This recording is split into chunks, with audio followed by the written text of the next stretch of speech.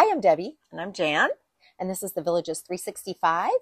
And today we're going to do your questions asked August edition. Yes.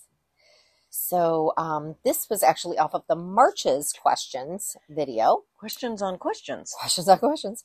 Shauna Kasanovic asked, in which video did you talk about the pros and cons of living in the different areas of the villages? And I believe that video, and I can put the link in here, but I believe that video was entitled um, Where to Buy in the Villages, Florida. So I will put that link in there again for you. But we basically talked about the different areas of the villages and things to think about, like the older section. Maybe you'll have to do a little work or maybe not, but then also maybe you won't have as high of a bond or and the different amenities in different areas, et cetera, et cetera. So anyway, um, that was the video that we did that in. So thank you. And same uh, one, March questions. George Vicari. They are getting ready to close on new construction in Newell.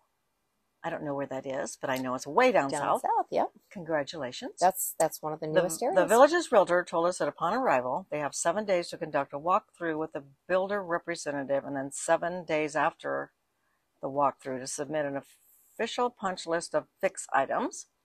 Can you recommend a trustworthy and thorough home inspector who may accompany us? And we contacted Kim because that came off of her video, and she recommended Housemasters Steve Lightcap um, which is probably who she uses all the time. Mhm. And his email is ultimateinspections at yahoo.com.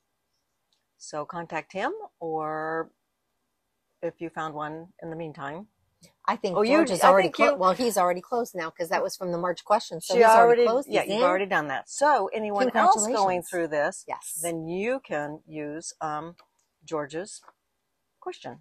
And congratulations, George. Welcome to the villages.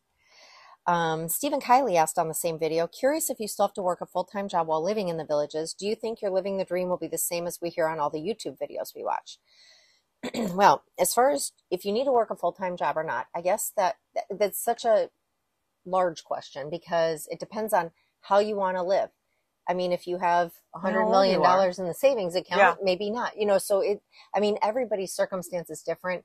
Do you have a mortgage? Did you pay cash for your home? Um, what type of activities? If we golf, I mean, if my husband and I golf at the championship courses um, twice a twice a week, it runs us almost eight hundred dollars a month. So, do I need a job to pay for that? Maybe. Do I, or do I cut it down? Do I do? You know, there's And there's, ways the around golf it. courses. Yes, this can be a very affordable place Yep. to live for sure, but it also depends. Everybody's got different means um, with regard to that. As far as do you think you're living the dream will be the same as we hear on all the YouTube videos? Um, Jan and I just try to present. We've we've both been here for a long time. Um, we try to present um, our views of things, and since we have been here a little bit longer, we've seen a little bit more. Uh, and a lot of the change, obviously, because we've both been coming down since the 90s Right. um, to visit people, and then we both bought in the 2000s. So um, we've been around. I would say that you can definitely live your dream here. Um, could you live your dream anywhere? I'm I'm that type of person, so I I would Yeah. be happy where my where my husband is. I'm happy, um, but um, it is a very great place. Anytime Leo and I've talked about, well, you know, where else where else could we go? And then we start talking about it, and then we're like, well, but then you know, for me, is there a tennis club nearby? Well, are there any golf courses? Well, how much are those golf courses? Are they private? Are they public? How much do they cost? You know, and when you start, to me, every time we've talked about it, when we start adding things up, we still come back to the villages. So um, there is no place like it. Everything No, is very It's convenient very, it's very different. very And- close, very easy. Um, and I think that's why also a lot of older people, even though some, you know, sometimes people's families are like, come back up north, mom, you know, you're by yourself, come back up north and be with us now. And, uh, you know, like I have neighbors and stuff, and they've said, we don't want to go where our kids are. We want to stay here because I can go five minutes in my golf cart to get to the grocery store. By then, I got to get in a car and I got to drive 20 minutes in the snow or what. Yeah, I was going to So- say, and it doesn't snow. Yeah. So, I mean, it, That's you not know, it depends on what your dreams are, Right, I'm certain. right. But yes, do I think it's a great place to live? Yes. Do I think sometimes people don't want to share some of the downsides of things. Yes, I think that everybody wants to pretend it's fluffy and it's not 100% fluffy all the time. and So no, no place is. no place is. No, exactly. no place is perfect. Um, maybe somewhere over the rainbow, but there's lots of free things to do. You can you can live here as expensively or as cheap as you want. Mhm. Um, and you and I know when we bought a long time ago, housing was a lot less, and things are going up just just like anywhere else. Where you're going to move, it's going to be it's going to be more expensive. And house prices right now are 184 to 1.4. Yeah. So, um, Well, and it's interesting because we were actually looking at um, some uh, real estate in a town nearby in Ocala, and we were just curious. There's a builder called D.R. Horton, which I'm sure everybody knows, and um, it was funny because the video was done three years ago, and those same models now are $110,000, $120,000 more. So everything has gone up. It's not just the mm. villages. It's, I mean, it, it's everywhere. So No. it, just to kind of give you a range of what, you know, it was just an interesting comparison. So, But again, as cheap as you want. There's a lot of free stuff. You don't have Yeah. you pay for your groceries, you pay your amenities, you pay your gas for your golf cart or plug it in or whatever. You can live you can. cheap once you get down here. And you can do a lot of things because Yes. there's a lot of You free can keep stuff. busy. Yeah. So, And meet a lot of great people. yes, All right. Is it my turn? it is your turn. KC on the um, March questions again. Is Amtrak near the airport so I can take an Uber to the airport from Amtrak? Um, there's three stations that are close to the airport, and one of them's the Orlando Amtrak station, and it's near downtown Orlando. That's 23 minutes. Um, there's also Winter Park. They have a uh, station there. That's 36 minutes. And Kissimmee, Kissimmee, Kissimmee, Kissimmee. Kissimmee. There, there- Kissimmee. there's a lot of double stuff in here. Two S's, two M's. Jan, don't start E's, rumors now. I's. You know the swingers thing will Yeah. come up. Don't tell me to kiss That's you. 23 minutes. So yes, you can you can get to the airport um, by an Uber. So And Frank Keel on the same question or same video asked, "Do you have to get permission to place a garden in your backyard?" Yes, you do. So, um, and a lot of people get upset about that. They feel like, "Why are they in my business? If I want to do something in my yard, I should be able to do it." Some of it does have to do with drainage, um, and people re. We don't have these houses are close together. There is drainage to get things out to the sewer system. right. So you need to ask. The CC&Rs basically say anytime you're going to do anything in your landscaping, you're supposed to ask. Now, that's not to say that people aren't pulling out bushes and replanting bushes, et cetera, et cetera. But um, to put a garden in your backyard, I would say I would ask. I I would don't think the- I, I do know that DeSantis passed something about um they're banning local governments from enacting ordinances preventing homeowners from planting gardens. Really? But I think that people here put them in the boxes, Yeah. uh, above ground boxes. And remember when he passed that, we saw more of those in the backyards of people for tomatoes and stuff like that.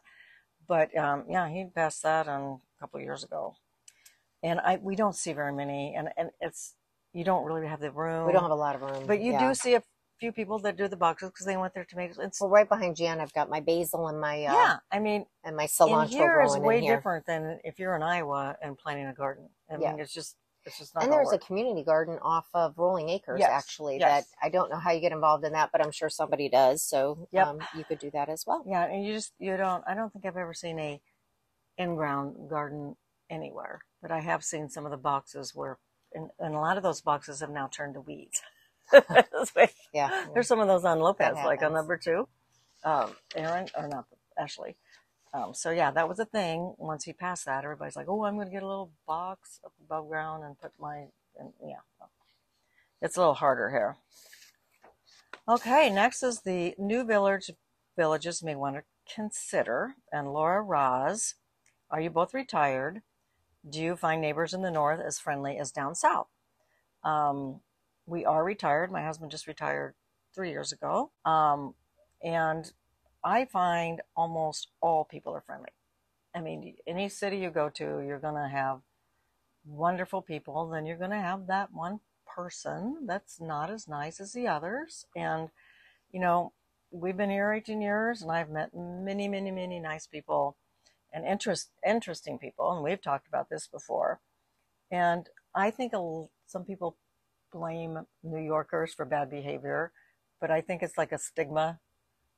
Um, just like the villages have certain things that people talk about, but um, there are a lot of nice people, and I I don't I you know And you're you guys do they do a ton of stuff with their neighbors. Now I will say Leo and I don't. We don't um, when we first moved here full time everybody they did a block party every month and that got to be that's too much for us but this is just this is our personal preference so it's not that it wasn't available we opted out of it you do a lot of stuff with your neighborhood there's a neighborhood very close to here and they are very involved they do things three four times a week together um, so most of the neighborhoods do have some sort of group, like the, you know, whatever, if it's Right. whatever, Amelia is the neighborhood, then they, they have an Amelia group and they will give you access. And usually somebody in the neighborhood, whoever runs it, reaches out and says, Hey, you know, um, if you're interested in getting together with us or whatever and all that. And so they, they're pretty good about letting you know. The realtors also, if you're looking in an area, may be able to give you some information about that. I don't know how much they know about it or not, but, um, But I think you're like we used to be when we were your age when we moved here. Everybody was a lot older in our neighborhood. and We didn't do anything with them.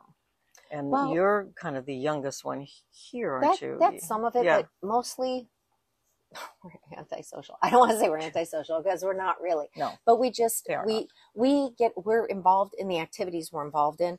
My husband doesn't play games. My husband doesn't, my husband doesn't play cards. Even if we were in your neighborhood, you guys do a lot of that Yeah. stuff. We would not Card be night, hanging out, yeah. and we love Jan and Mark. It's not a personal thing. Yeah. It's that It's your own that's thing. not what my Yeah. husband likes to do, so we don't do it. That's all. So and you know, and we don't have to right? right but yes i think that people are very friendly and we're very friendly with our neighbors. We just don't do a lot of activities with them like Right. some of the um, neighborhoods do. We help them. We are very friendly. They know when we're gone. We know when they're gone. We check each other's homes. We you know our neighbor across the street brings packages in if we happen to get Yeah. something delivered. So i mean ever very friendly. We we do hang out. We just don't do the neighborhood Everything activities. together. yes. Yeah. and some of the neighborhoods do Yes, more of that than others. So, um, KM, um, tips on repelling snakes in your yard. Also, how common is it to run across one? Okay, and so I know, um, KM, and I'm not sure if you're a female or male, but it was funny because your response I laughed at because you did kind of think that was funny, my response. But I'm going to say, uh, when we moved here, I was like, everything is scaly. I'm from the Midwest where everything is furry. Like we have furry animals. We have squirrels and bunnies, and even if you have mice or whatever, everything is furry. Down here, everything is scaly. They're spiders and um, and I don't like spiders and lizards snakes. and gators and Yeah. all of that. So Reptilish. exactly more and snakes. But I will tell you, the only snakes that we've run across, and I so I went reaching under a bush when we first moved here to weed and had no idea, and whoosh, and they're called black racers. They're good they're- snakes. They're good snakes. They're equivalent to garter snakes in hmm in the Midwest. And so um scared me. I'll give you that, but I jumped and then was like, okay, note to self, gloves and pay attention. So we do see them. I would say that in our yard, we probably see them once every couple months maybe.